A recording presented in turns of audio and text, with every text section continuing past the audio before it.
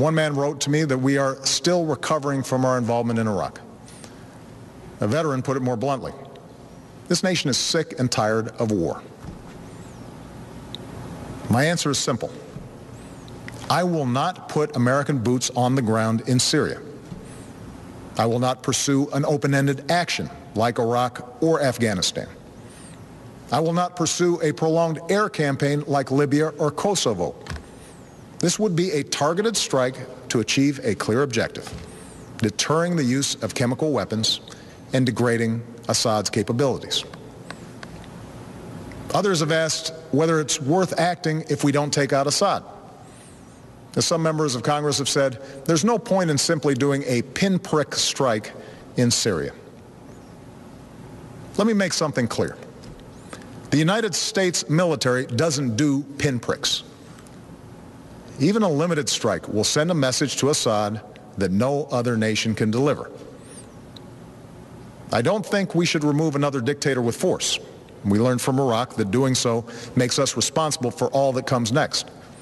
But a targeted strike can make Assad or any other dictator think twice before using chemical weapons. Other questions involve the dangers of retaliation.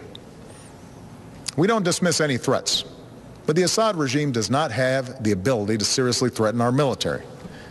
Any other, any other retaliation they might seek is in line with threats that we face every day. Neither Assad nor his allies have any interest in escalation that would lead to his demise.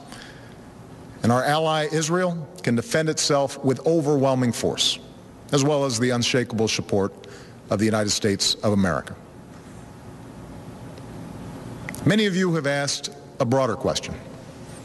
Why should we get involved at all in a place that's so complicated and where, as one person wrote to me, those who come after Assad may be enemies of human rights?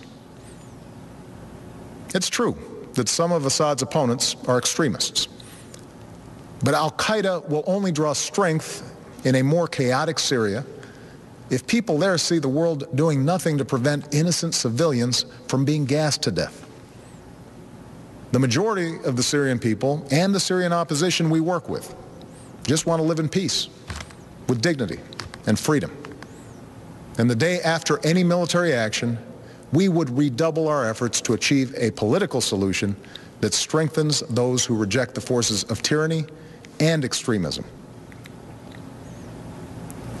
Finally, many of you have asked, why not leave this to other countries or seek solutions short of force?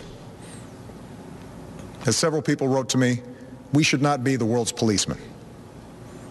I agree. And I have a deeply held preference for peace.